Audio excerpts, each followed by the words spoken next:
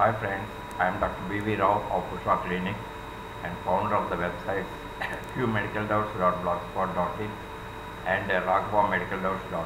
Through these videos, I am providing the basic knowledge about the commonly occurring diseases, treatment and surgery details when necessary for the medical knowledge to general people and for reference to medicals. Today I am going to discuss about the volvulus diagnosis surgery.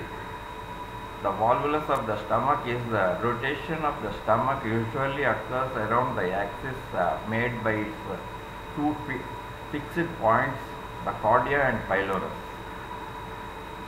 Through Though the rotation can occur in a horizontal or vertical direction, it is common from the greater curvature with the colon moves upwards to lie under the cupola of the left diaphragm.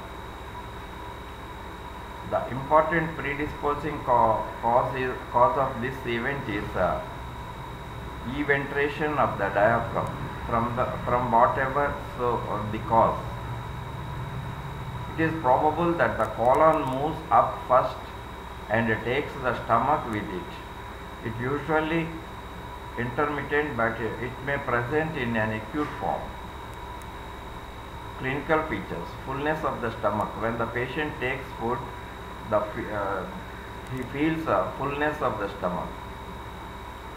Epigastric pain. There is a slight epigastric pain and uh, retching. He has to wait for a moment to have another bit of food. Diagnosis. Diagnosis is established by barium meal. It is impossible to pass the stomach tube. Treatment. Operation is the only satisfactory treatment. The greater curvature of the stomach must be completely freed from the colon by division of the gastrocolic omentum. Must probably it itself is uh, adequate for relief. A further safeguard, however, consists of fixing the greater curvature to the duodenojejunal flexure of uh, fourth part of duodenum as in posterior gastroenterostomy without stoma. Where the rotation occurs as a result of and uh, into a large hiatal defect, the essential treatment consists of a closure of the hiatus around the esophagus. That's all about the volvulus and in the next video I will discuss about some other disease. Thank you.